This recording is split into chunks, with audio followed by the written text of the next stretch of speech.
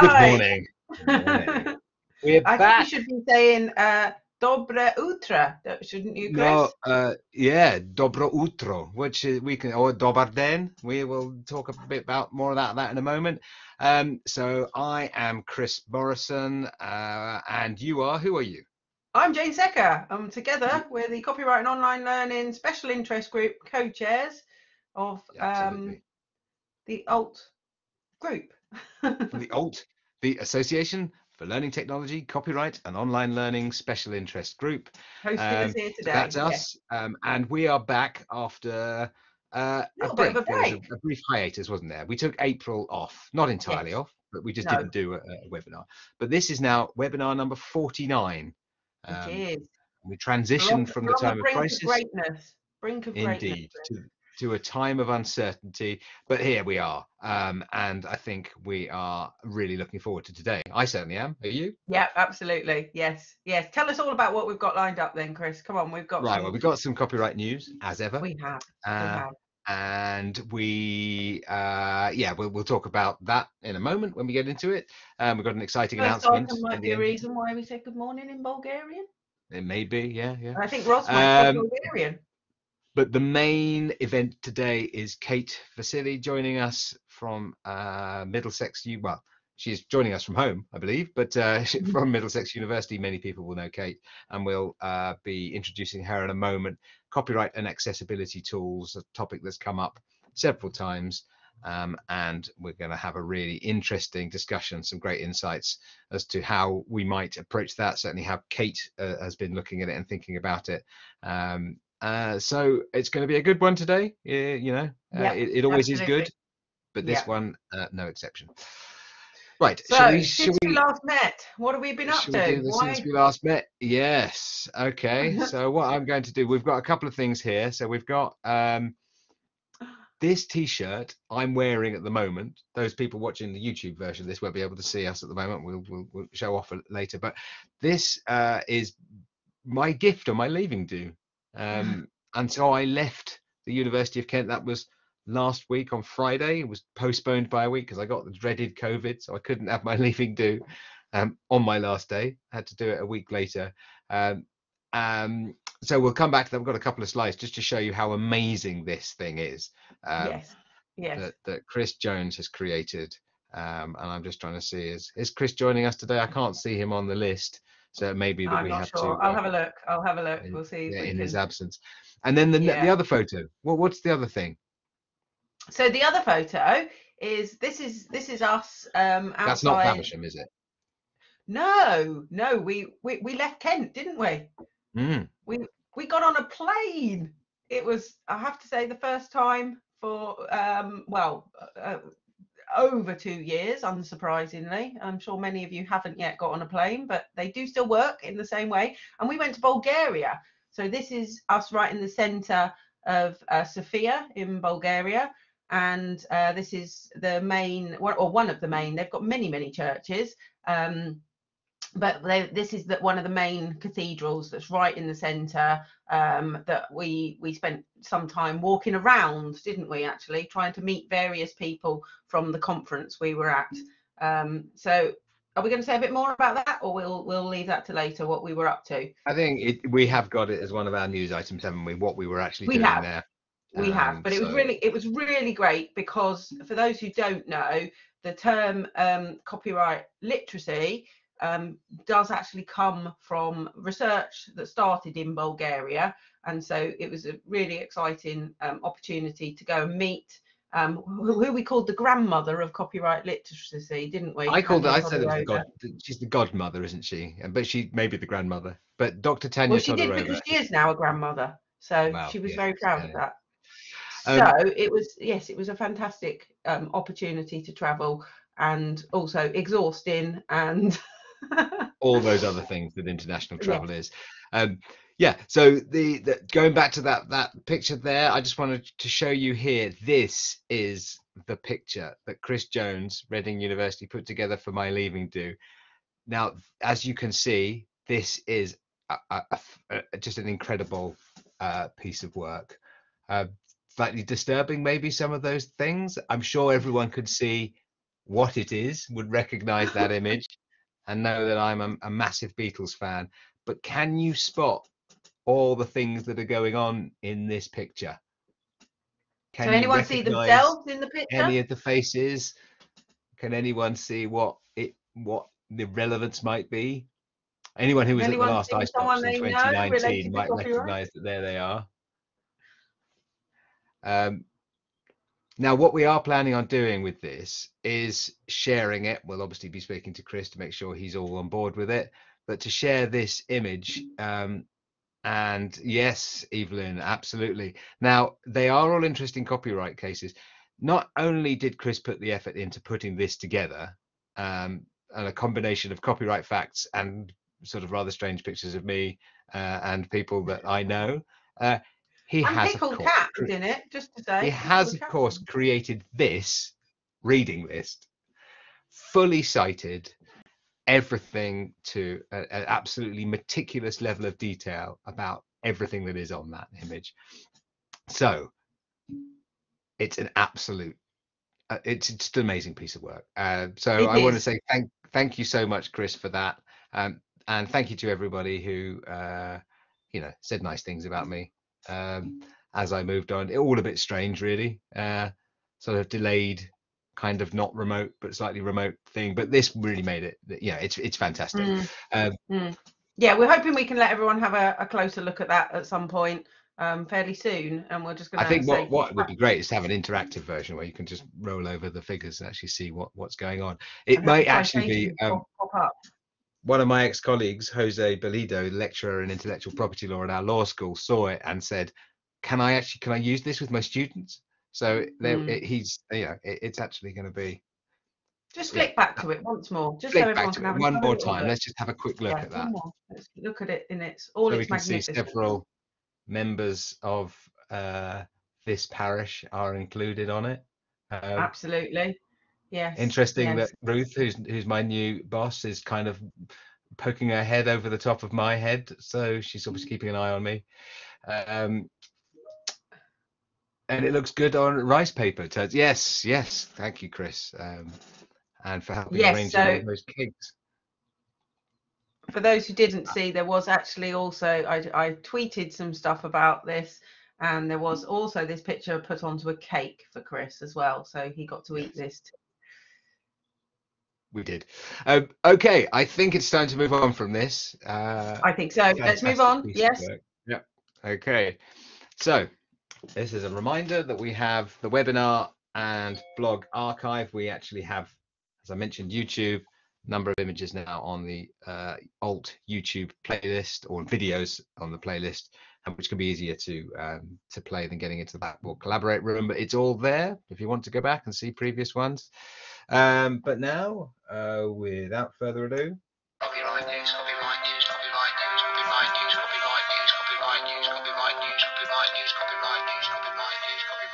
right, it's copyright news. Um, It item is. number one. So, so we mentioned this. This was why we were in Bulgaria. So Jane, wanting me you to talk about this? Yes. Yes, Yeah. that's fine. Yeah. So the um, Decris um, or Decris actually, as most people were calling it, we discovered um, in, at the conference. Uh, it's I'm just popping the link into it. It's uh, an Erasmus funded project. Um, they have run a number of events to bring the project partners together, but also to bring um, some uh, sort of uh, interesting experts in the field. So, digital education for crisis situations, times when there is no alternative. Um, the partners of the project are from Germany, Spain, Bulgaria, and Croatia.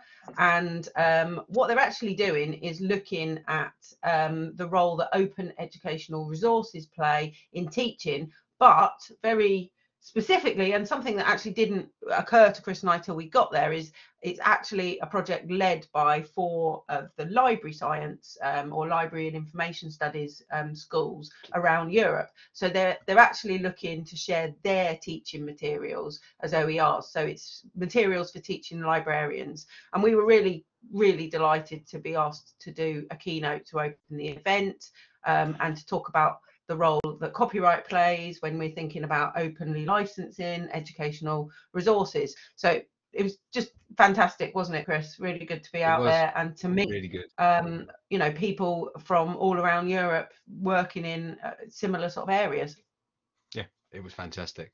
Um, but also very nice to get back home. Uh, so it's all good. International travel is good, but tiring. Uh, but that was where we were, so we hope to see more. Um, the Lilac uh, conference archive is available. So this is, we just wanted to draw people's attention to that because we were talking, we presented um, at that uh, event with the Canadian team of Amanda and Celine on copyright anxiety. Uh, uh, and it was a it was a it was a good session, wasn't it? Again, Lilac actually face to face. Um, yes, yes, yes. So this was uh, before before Easter, Yeah. and uh, at, at Manchester Metropolitan University. Um, we did see some of you there in person as well, which was fantastic.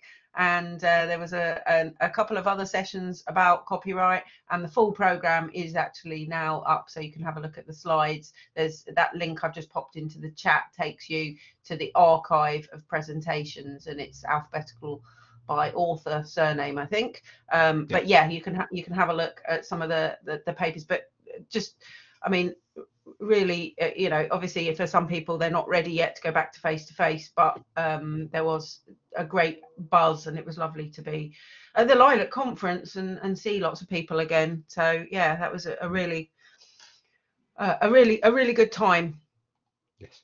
next item Uh, chris Next item. So this is a report. We mentioned this in our keynote uh, because IFLA have pulled together. They put a, uh, out a survey and some uh, statistics on an international level. How did libraries respond to the pandemic, or how did copyright impact on their activities during the pandemic? Uh, so we see here that 83% of the respondents uh, from 29 countries said they had copyright related challenges during um, you know as a result of library closures. And we also picked out of here that 52% of libraries um, had identified that those problems related to international cross-border access students returning to their home countries different licenses different technological infrastructure. Um, so these are things that we've seen in our community but what we always want to do is make sure we're linking this back to the international whether we can learn from others and, and and share our experiences so this is an interesting piece of research very useful Yeah, absolutely. Yeah. And there is uh, a summary report, which is what the top link was taking you to. But just, I think yesterday, IFLA put up the full report. And I understand they're using it to um, uh, for discussions uh, when they attend WIPO, aren't they? I think um, a bit Yes. later this year. yes absolutely Yeah. Um, so that's a good one the next thing we've got here so you and again you went to an actual real event I did, yes. So, um, Association for Learning Technology also run um, the OER conference, the Open Educational Resources Conference. Um, OER 22 was um, a hybrid event. Um, so, there was a day in person in London um, in a very spacious, airy venue.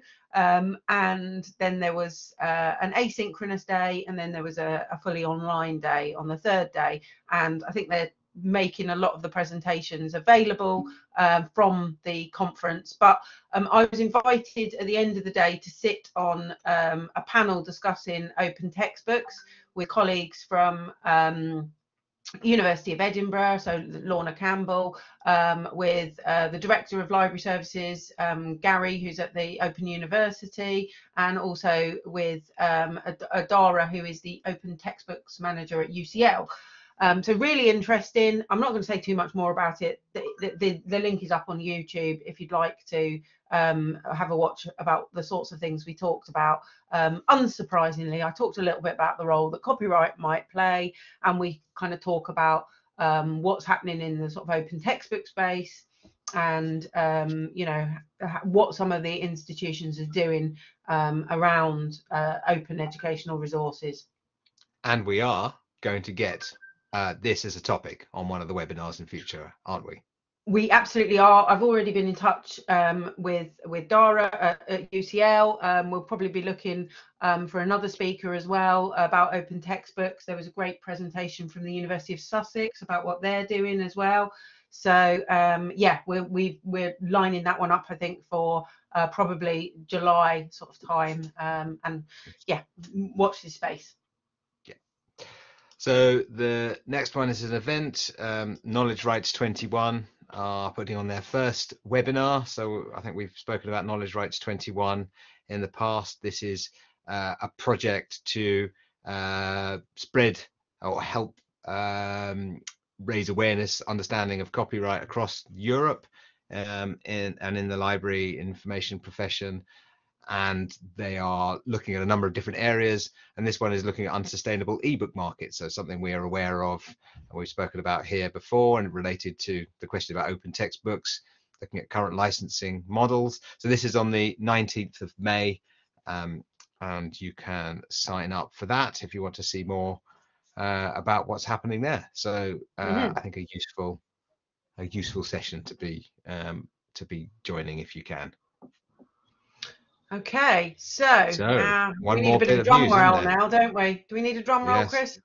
Uh, I don't have a drum. Final announcement. We're going to get onto the main act now. We know there's quite a few things to catch up on. But Boom.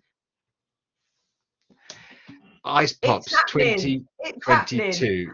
It's it's happening. It's real. Thank you to everybody who responded to our survey to ask about feasibility, whether they'd still be prepared to go, what the date, the location, and we understand that there was always going to be some uncertainty about face-to-face events. Exactly the timing will be tricky. We could, you know, what we've done in the past is had ice pops um, in June around that time, but we were really keen to bring our community back together those mm. of us who are working in copyright education um, and looking at uh, playful and creative ways of doing it. So Ice Pops, for anyone that hasn't um, been aware of it, is the international copyright literacy event with playful opportunities for practitioners and scholars.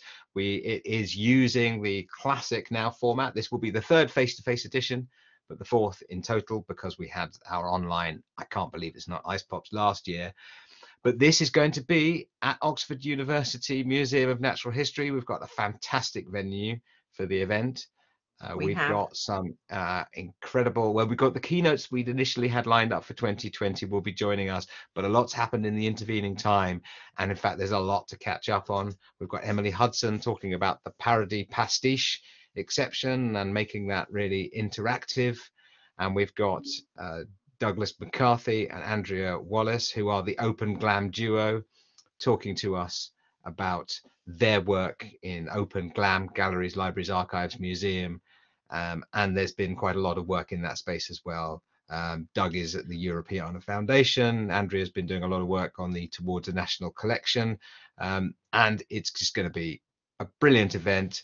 Um, call for contributions is there. So if you want to contribute, we've got the classic World Cafe, we've got the classic lightning talks, opportunities to share what you're doing or just ideas about how you might approach stuff. Um, and I think we've got um, Kyle Courtney has got it in his diary. We're hopefully going to get a fantastic yes. Kyle back yes. in the UK. So we're really, really pleased that we're able to announce this and just to say this is a bit of a sneak preview so we haven't actually we haven't got a booking page up yet um, we've got information about the costs um, we've got our sponsors lined up but we are will be getting in touch um, and sending out further details um, next week um, about this so this is a, a special advance uh, have get get your get your thinking caps on. We're really hoping, obviously, we do get a good number of people who would like to come along and, and speak at the event as well. So um, any any ideas you've got, have a look at our call for contributions. So yeah. And and uh, Karen is absolutely right. It is an amazing venue. Um, but we now will move on to the main event. Um, accessibility tools and copyright with Kate Vasili. Kate, are you there? Copyright officer extraordinaire from Middlesex University. I hope you don't mind that being your uh, your title. Um, wow. no pressure. No, No no pressure. pressure at So, Kate, excited. you, you, you, you've, you've been, um, I think most, many, many people here will, will know you well. You introduced to us your copyright journey, how you became a copyright specialist um, a few webinars ago. Uh, so we're delighted to have you talking on this topic. It came up as part of the, uh, the discussions on LIS-Copyseek, didn't it, about how do we deal with accessibility tools? And then we have a, a working group as part of the, uh, the Cool SIG uh, committee. We've got a separate group, and and and they were asking you to uh, see if you could expand on some of the things you were talking about on the list. So here's the opportunity for you to to give us some of your insights and spark some conversations about how we deal with this and the risk of using various tools. So Yeah. over to you if if you're okay. We can I'll get your Yeah. slides up. Oh wow, the slides are coming up. Wow, brilliant. Just like Um, magic, Chris. Just like magic. Just magic. like Just like There magic. Thank you, Chris. No worries. Um, so, hi everyone. A lot of you probably already know me, um, Kate Vasili, Copyright Officer for Middlesex University, and by no means um, an expert. I've learned, like many of you on this list, just by doing the job and picking up things as you go along, asking questions, reading answers, and, and just sort of accumulating the knowledge as you go along. So again, accidental journey is not something I planned to do as a child. Um, so as Chris said, I was uh, I was really responded to a question on this copy seek, and that sort of sparked um, further discussions in the Alt SIG accessibility group uh, meeting. So they asked me to, to prepare a paper, so to speak, on what I'd said and to elaborate on some of the things that I'd mentioned. So this is basically a presentation on that paper, um, just giving you some insights of why um, maybe it's not so scary to use these accessibility tools and have them available um, to your students. So if this changes, let me just check. Right. If you can't get it to move, I'm happy to do the old next slide thing and I'll move them along for you. I'll just try one more thing, and if not, yeah, it's not moving. Okay. Oh, hold on, hold Oh. on. There you go. okay, did I've it. jumped you forward. Oh, Sorry. no, it's back to. Right. Worked it out. There you go. So the accessibility tools I'll be talking about are Blackboard Ally and also Sensus Access, which many of you will have heard of by now. And, and I know a lot of you who already integrated into your um, platforms and your systems at your universities. I have to add there are similar products may be available. So just just a, just just as a reminder, because I know there's probably other technology companies busily trying to create the same sort of products um, for this. Blackboard Ally doesn't only work on Blackboard. Obviously, Blackboard and Moodle have are, are have merged, and so it works on Moodle as well. So it's not just that. This is just a brief um, rundown of the features of each of the accessibility tools. So Blackboard Ally is a VLE integrated application, whereas Sensus Access is a web-based platform um, and also an LTI plugin. So although there is a, a web form available publicly on their website, um, any organizations that want to use it have to subscribe and use their plugin. Um, there's a VLE content accessibility feedback forward with a Blackboard Ally. Um, the format request icon is attached to individual items in Blackboard, so you can they can be switched on and off. And there's also no file size limit. Whereas with um, Sensus Access, there is a file size limit, so you can't um, upload huge files um, without their contacting them first. Um, I did mention already that the web, web form is available um, to subscribing institutions to put anywhere on their own websites, but there's also a public version which they use as mainly as a test, so you can see how it works before you subscribe. Um, the preferred format selection for both of them are, are almost the same. Um, they've got seven each, with Sensus Access, they have Daisy as well. So Daisy talking books in 24 languages. I'm not sure about different languages with Blackboard Ally, but Middlesex, we don't actually have it, which is a bit um, tongue in cheek that I'm presenting on something we don't have at Middlesex, but never mind. Um, and they also both do eBraille. Oh, they do have translations. Sorry, I'm talking rubbish now. They do have translations, but I'm not sure which languages, whereas um, Sensus Access actually specify the languages. There's instant download from Blackboard Ally, whereas Sensus Access actually email the, the converted file back to the requester, so they have to put in their email address when they make the request. So the main concern that came up on LIS-Copyseek and everywhere else as well is that the disability exceptions in the Copyright Designs and Patents Act only apply to um, making accessible copies for disabled persons who meet the certain criteria, i.e. in the Equality Act 2010. Um, but these accessibility tools are made freely available to all staff and students via the institution's VLE or web pages, etc., which allows them to then download content in any format of their choice. So the question is, are we aiding or encouraging copyright infringement by making these tools available to the wider cohort? So that's the burning question and the main concern with these tools. So I started scratching my head or my chin, as the image implies. and I may be wrong, but, and then this is um, the legal disclaimer. I may have legal qualifications, but I'm not a lawyer. So anything I say from here on reflects my own personal opinions, viewpoints, and analyses and should not be construed as legal advice. Blah, blah, blah. Sorry about that, but I had to say it. So reasons why it's highly unlikely that we are um, sort of aiding or encouraging copyright infringement. First, I'll go through each of these different aspects. So we're going to talk about the content first, what type of content and the copyright status, etc., and why, how they've been provided. Then the amount, so what's likely to be provided, how much. The purpose, why it's there.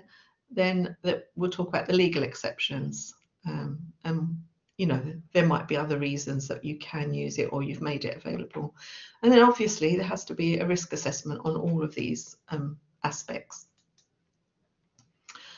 So the content mostly it's academic authorship. So you've got lecture slides lecture notes maybe um, assignments exam questions um, setting assignments etc., which the university will own. So there wouldn't be a copyright issue with those, however the student wanted to download them. The main problem would be third-party content. And these, on a VLE mainly, are often provided via links to the online reading list. So again, it's taking it off the VLE platform. Copies from third-party content are either licensed or with permissions, or we like to think they are anyway.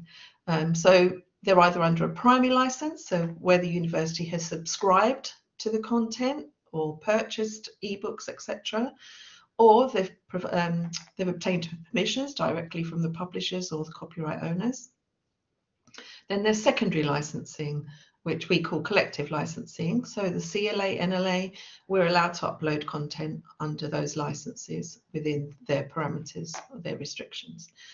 And then there's legal exceptions. So we might have uploaded content under section 30 for quotation, um, criticism review, or section 32, illustration for instruction, which is probably the main one for um, a VLE or VLE content but also section 36, which also works in line with the CLA. So anything that's not CLA licensed could be copied under section 36 within the very limited 5%, obviously. Um, and then we have direct links to external content. So external websites. There might be links to a topical website that the academic wants students to look at, and also library collections via the li li library management system. So it will take you off to your um, catalogue or wherever that, that content resides, basically. So the main thing is, is to remember that any, any links take you off the VLE platform. So if it's not on that platform, then Blackboard Ally wouldn't be available to those that content. So the whole books that would be in the library collection, the, the, the option to download it in a different format wouldn't be available because you're moving away from the VLE. So the integration then breaks. And similarly, if it's an external website, again, the integration wouldn't work. However, a student could download a copy of something and then upload it onto Sensus Access to get the conversion in a different way. So the amount, what's likely to be on the VLE, so copies provided from a third party um, would require downloading in a different format, rarely amount to whole or substantial part of the work, which I've just said. So it would be maybe a chapter, an article, or a link to something else. Unless it's an image, obviously images would be the entire work and probably articles, but articles tend to fall within the the um, parameters of that it's part of a an issue or a volume, so it's not an entire work in itself. And why has the content been provided? Obviously, it's for teaching or study purposes. Um, and that's the content that's most likely to be downloaded for study in their own time or private copying. Um, Content provided for decorative or aesthetic purposes is unlikely to be downloaded unless it's embedded into those notes and those teaching resources like lecture slides, etc. Um, the students wouldn't deliberately be downloading it unless it was interesting to them on a study purpose, you know, outside of what the intended purpose of it being there was. So, you know, there, there are different reasons. So the legal exceptions that would cover a student um, first of all, disability exceptions. Obviously, if it's a disabled student or staff member, they could rely on their disability exceptions to download content in any format that they require to make it accessible. But if you're not a disabled student, you don't meet the criteria, there are other options available to you. So section 29, private study and non-commercial research, would cover a student making a copy of that content for their own purposes. Equally, illustration for instruction. Illustration for instruction covers the person giving and receiving instruction. So bear that in mind. It's the student as well as the staff uploading the content. So both exceptions are format neutral. They don't expect people to, to upload or download content in the same format it was there. If you think of it um, with respect to if they download a paper copy, that's not the same format that's been provided. So it is being reformatted anyway. This is just giving them options of how they want to access it. If it's something that's been made available under a license, if we look at the CLA license, the only restrictions are that the recipients are only ultimately in possession of one single copy of the content. Again, they're format neutral. They don't mention how the student can download that copy. It doesn't say they must download it as a PDF onto their laptop or they must print it out, etc. It just says they can download a copy. I might might have forgotten something, so someone can remind me if it does actually say that, but I don't think it does. It just says that as, as recipient can um, should ultimately be in possession of one copy of that item. When we look at the um, options available through these um, accessibility tools, sorry, I got a mind freeze there. Um, it they're normally around sort of reading content. So there'll be HTML, Word, um, PDF, Braille, ebooks, um, the Daisy, they're all around reading content. So there isn't an option, even audio books, basically, so audio recordings. So it's not something that you can reformat from a document into a film or anything like that. So it doesn't go that far. It's just a different way to read that content. So you're not changing it in major um, ways. And the the audio content is probably the furthest away from what the original was meant to be provided in. But again, if it makes it accessible, um, there shouldn't be an issue. So the risk, the questions you should ask when you're making your risk assessment, it's um, not a question, basically you should consider that it is a personal copy that the person is legitimately provided with, um, download, downloaded by an authorized recipient, but in a different format. That's all. That's the only issue that might be of contention, but there isn't an issue as far as I'm concerned. Like I said before, I may be wrong, so please say if you think I'm wrong. Um, so will it attract copy, copyright infringement claim? It's highly unlikely on the on the basis of what I've just said. Also, you have to consider the benefits to students of being able to download these copies. So an unencrypted PDF or Word document allows students to make notes, um, to copy paste extracts for quotation purposes, etc. So if they're writing an essay or a project, they can, you know, sort of copy paste extracts and, and cite them, so through their citation tools. Um, tag documents have clear headings and structure, allowing for easy navigation so students can find what they need easily. Um, it includes an automatic generation of a table of contents as well, again helping with the navigation.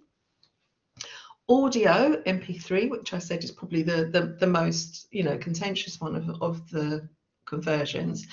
Um, along with it, the original text allows a, a further engagement. So um, especially for students with dyslexia that take longer to process content, it's much easier for them if they can listen to something al alongside the actual um, visual um, extract. It also aids with English and foreign language. So again, with translation, if you've got um, a foreign speaking student that might struggle with English, um, it helps them as well. But also time management. So how many of us would like to listen to something while they're driving on a bus, on a train, instead of having to read something and have to hold it in your hand and physically hold it. I mean, it, it does help. When you think a lot of students travel a long way to get onto campus, um, that would be great for them in time, time management um, terms.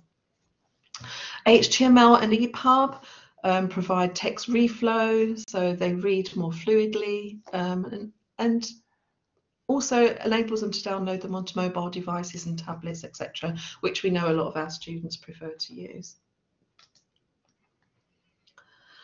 So if you're still not convinced, um, these are just additional things. Sensus Access is usually only made available via the institution's accessibility support pages. Um, and within those pages, there are instructions about who should be using the tool, etc.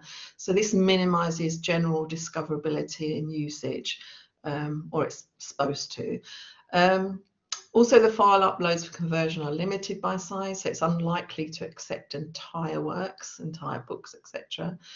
Um, Blackboard Ally is only integrated via uh, the VLE, so it includes controls, etc., which is the button I mentioned earlier that you can toggle on and off for individual items.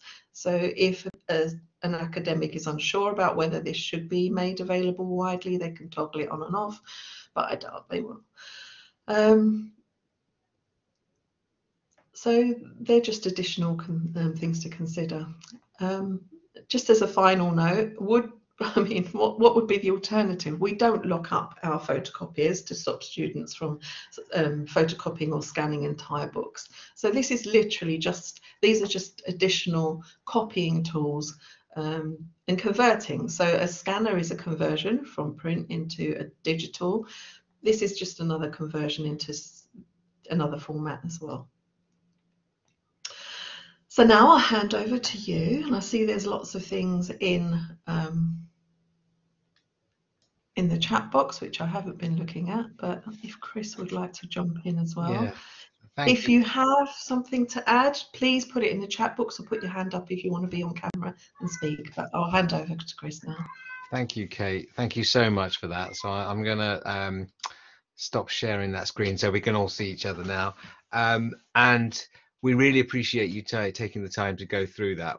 There, there, are a few questions here, and we'll, we certainly do want to get others' input. The thing I wanted to just um, uh, mention first was uh, picking up on your clarification that this is not legal advice, and of course it will have to suffice. But but uh, having said that, that it is um, the purpose of of having the webinars is to have uh, community discussions and we operate uh, and and the CoOL SIG really is operating as a community of practice where we bring people together and it's an extension of what we've been doing for many years um, discussions on LIS-Copyseek so there are different views there are different approaches that we might want to take. Institutionally clearly if we're working within institutions it's up to the, those institutions to make the decision about what tools they use what their how their settings are what guidance they give to their staff and students. Um, so there are a number of different configurations of how you might work. So it's it's always difficult to have a single sort of set of guidance notes that will always be the case in every single situation. Uh, but we think there are some, I think what you've picked out there are some really key points, just a reminder of what the, the legislation says, what provisions there are in the law, um, the accessibility provisions are there and have been expanded since 2014 and are really important.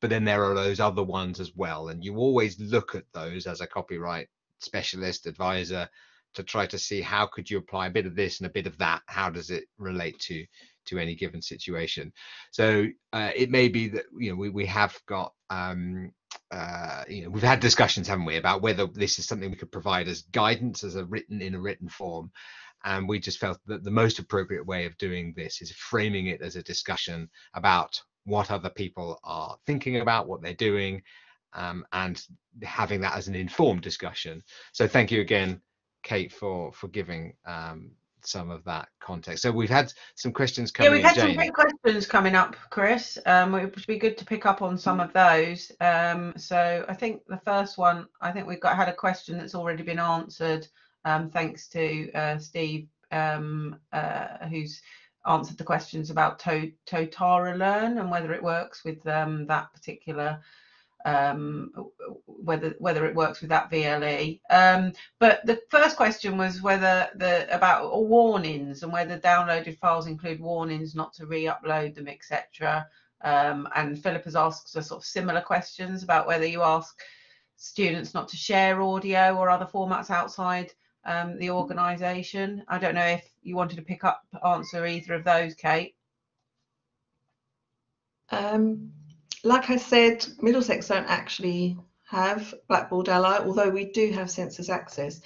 Those warnings to students are in our normal student regulations. And we do i think there is something on the VLE just in general telling students that everything provided to them is for their own study purposes and they shouldn't be sharing them anywhere else. But this has come on the back of students sharing things on those um, those platforms like course hero. Those kinds of platforms yeah. Yes so, so it's, it's general rather than specific to these tools yeah i think that's a really good point to make actually um, that that you know we do you know in, in some ways is this any more risky than you know students taking things and sharing them that are provided to them for you know their their study?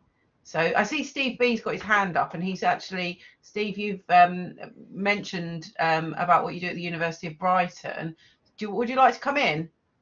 Yeah i was just going to say that the text that i put into the text the text that I put into the chat actually comes up as a pop-up as soon as you click on download for any of the alternate um, formats. So the student can't actually get to the alternate format without clicking that they've seen that message.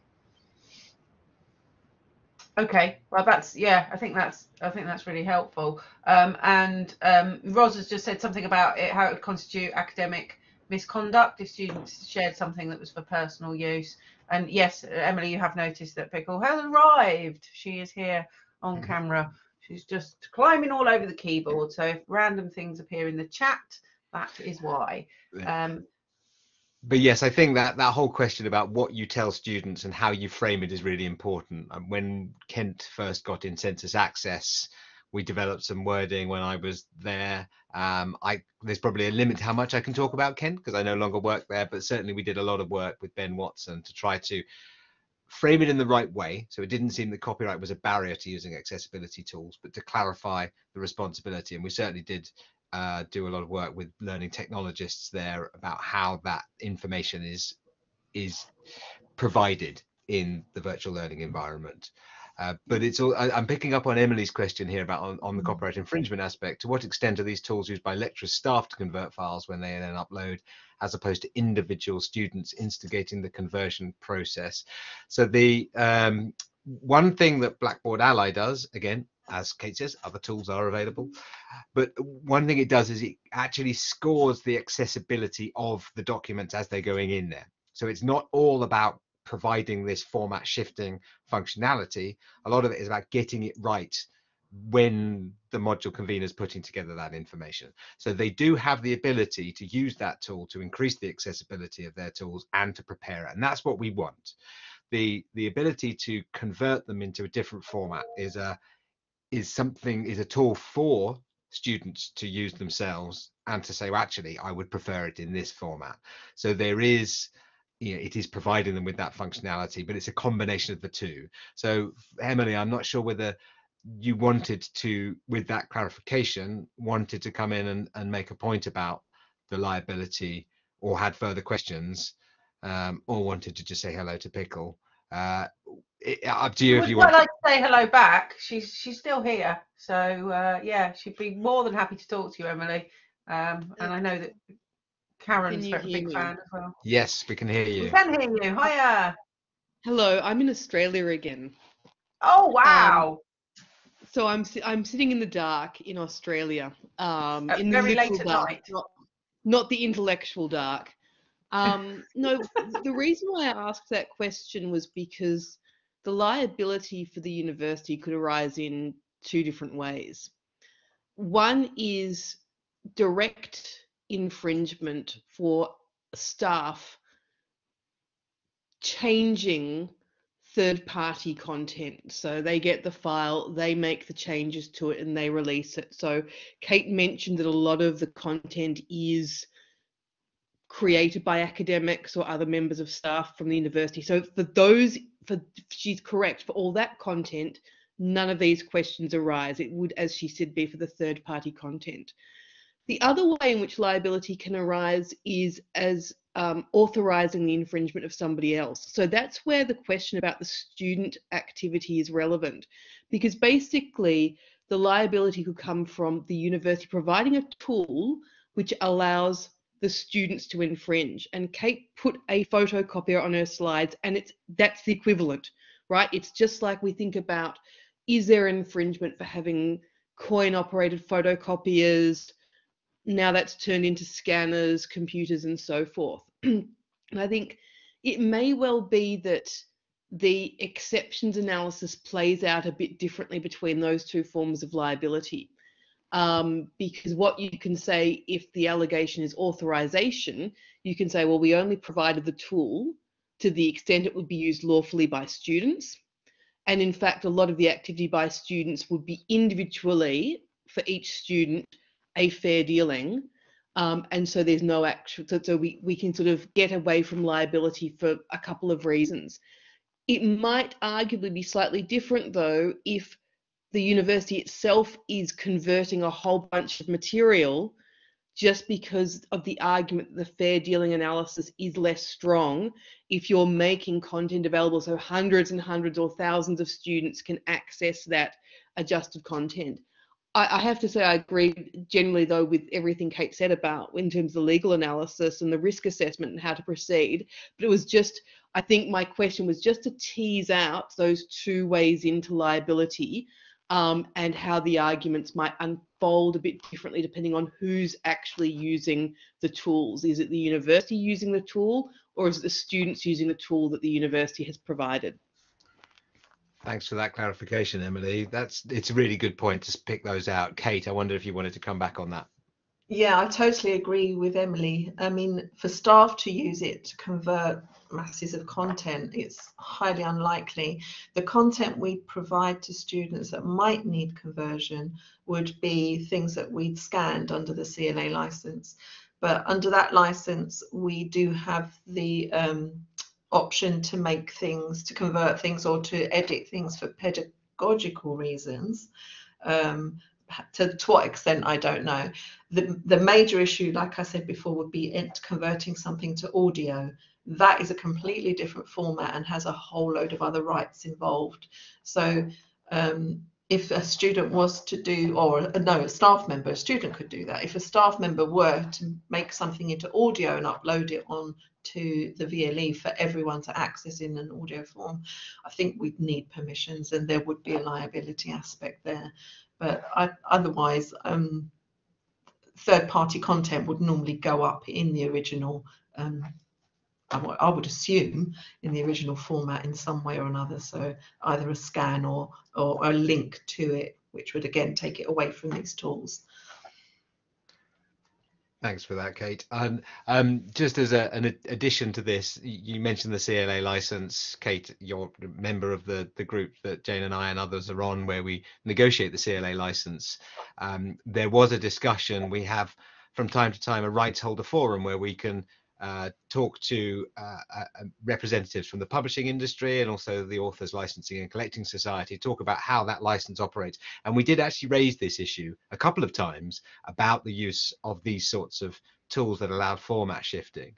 Um, it, it, became quite uh, clear that that this was not a major area of concern for the publishing industry, this sort of thing when it comes to the CLA license itself, CLA are operating the digital content store. And in fact, the content is stored there. So they are the ones with the responsibility for making them accessible. We'll refer back um, if we can find the link to the, the, previous webinar we had on accessibility and all the various ways in which we want to make material accessible. Um, and in fact, I think that there is, I, I know you're, you're raising the fact that yes, you can get an audio file from this and shifting it into a, a, a computer generated narration of a paper. Um, from a publisher's perspective, we were talking about audio books, and yes, they don't necessarily, publishers don't necessarily have the agreements with their authors to create audio books. Um, or if they do, they come under a very specific um, set of contractual arrangements about how that comes about. But these really, in my view, these are not audio books um, and I, I, think they're therefore the, the the risk is you've got to see it in that light. It's it's content which is not available under an audio book. It's not like someone's actually narrating it and turning it into something that has an additional value over and above the uh, you know, how much it costs for the institution to get hold of the original, get permissions to get that that content in the format that it's delivered to the student. So I think uh, it's it's I don't think it's a major area of of concern about the format shifting but then it may be that others have different experiences and and certainly if it's something where there's large scale format shifting going on this is this is a different question i think as than what we're really talking about with the way these tools are usually used as a use it as and when it's like equivalent as you and as Emily agreed to a photocopier being available to help you with your studies. We're not using it as a way of uh, avoiding paying for content legitimately in the first place. Um, I just popped something in the chat, Chris, because um, um, I think it's, you know, I mean, I've actually got um, Blackboard Ally. Um, we're doing a bit of a trial of accessibility tools, and we've got a lot of work um, going on at City University. So I thought, what better way to learn than to uh, actually switch it on on my Moodle course and see how that works. Um, and I'm just also putting a link into our digital accessibility guidance that we have, um, which is licensed under Creative Commons as well. Um, so, which is very exciting. But um, I think, um, you know, it, it, I mean, it's clear in my module, everything that's in there is actually content that pretty much I've written. I mean, all my readings are on our reading list system, so it's you know, uh, it, it's it's kind of it, it, uh, it's a bit of a non-issue in a way to me, um, but it is. I think thinking about accessibility is so important, and it is something that you know I've I've really started to think about when I create a lot of course materials myself, making sure that I'm making them accessible.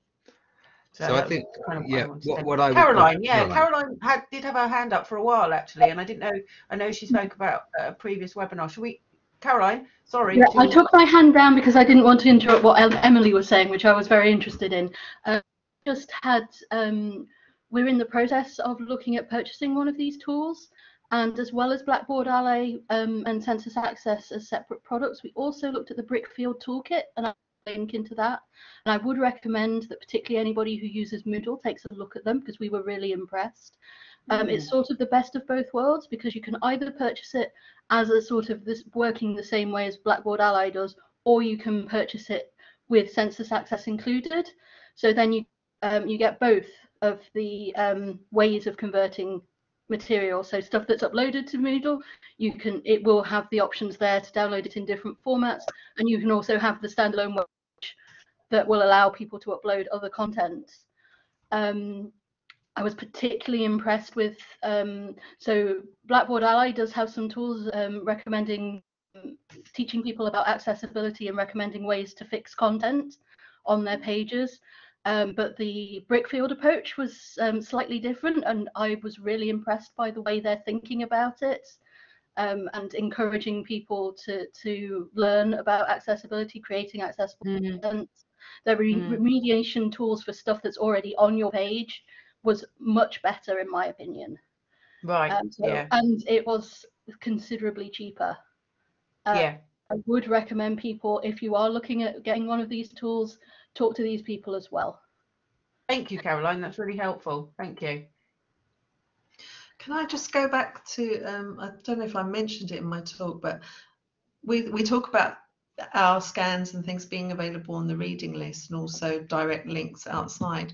But I'm just wanted to just make it, you know, sort of a, a comment that I'm aware that there are universities that don't use either. So they neither use DCS or TACC or a reading an online reading list. So all their content does go on the VLE. So I suppose this would be more pertinent for them than the majority Yeah, of us who use those e- extra platforms. Yeah. Good point. Yeah. Yeah. Thank you for that, Kate. So I think we're going to, it's now reaching 12 o'clock, so we're going to draw the conversation to a close. It's been really helpful. Thank you again. I think in summary, what I would say is I, I wouldn't describe it as a, a non-issue. What I would say is actually this is the same issue that we deal with in every area when we're looking at copyright and online learning. There are risks that need you know that you need to address the risks and take a risk managed approach. We do our due diligence. We make sure everyone understands what their responsibilities are. Um, we don't do something which is clearly egregious systematic infringement. But nevertheless there is once you start providing digital access to learning materials there will be some potential for some copyright issues. Um, so i think it was really useful to have it. Thank you again. Uh, thanks to emily thanks to caroline to steve And to the accessibility group that we have um, on the ALT CoOL SIG as well for the work they've been doing about this. Yeah. Yeah, yeah. And don't worry, Karen, I, the guitars won't fall on my head. They're, they're pretty, they're pretty uh, uh, firmly attached to the wall. Uh, but here we are, right? So just to, to let you know, future webinars we do have some lined up. Intellectual Property Office are going to be talking to us next time. That's going to be good. hmm So They they, are. they've been working on this intellectual property education framework, so pretty important for those of us in this area. Um, we've actually we penciled in becoming a copyright specialist for the first of July, but actually I think looking at it, that may be the one that we do as our open textbooks. So I think it's Yeah. a watch this space. We'll get the website updated with a, a schedule as we slot those things in because we might bump the becoming a copyright specialist back a little bit as well. But yeah, I think there's lots of lots of really interesting stuff. We can hang around for 10 minutes or so. Um, we do like to end, as you know, with something to lighten things up, but um, it, I know many of you have to go. Just play that little jingle. Everyone get those lighters up. So our comes to its end, and we know you have to go.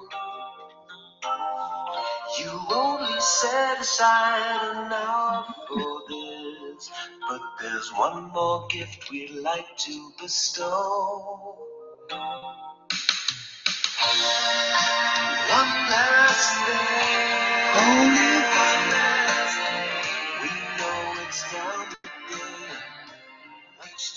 on its way back. One last thing, only one last thing. we stay around for one last day. Can I put the one last thing up One last day. before everybody leaves, Chris? Clearly the song isn't working because we have droves of people um, leaving but there we go. Uh, understandable. We do advertise it as finishing at 12 o'clock. So the one last thing. Um, it's a thing of beauty, isn't it? On on both levels. yes. So here we are in the sophia museum of archaeology um, on our final day.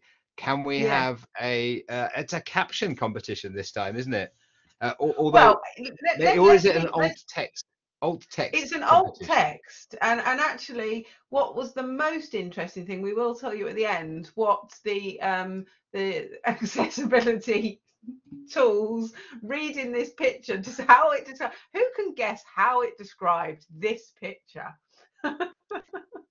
in alt text automatically So the art at the AI, um, what did it? And that is what an fact is this? anthropomorphic um uh, uh, uh, bowl or jug or something isn't it it's not chris is that how they described it Um, it is. That's what. That's what the actual uh, um the, the collection item is. The the artifact is. Um, yes. Uh, yes. It's got some slang coming through from Evelyn. Uh, nice. Yes. Good idea. Yes, Chris. Business end. Um, bottom jug. bottom jug Um, yes Was the tool given any context or just the image, Steve? just had the image just had the image I've got I've got the text ready to go in there. Shall I? Shall I just i think so it? i think and nobody's got anywhere close to it nobody's got anywhere close to what the alt tag was suggesting It said a person standing next to a big statue of a bear. Um, so what I did actually is I, I, I just amended that slightly. Um, so uh, are we still recording this?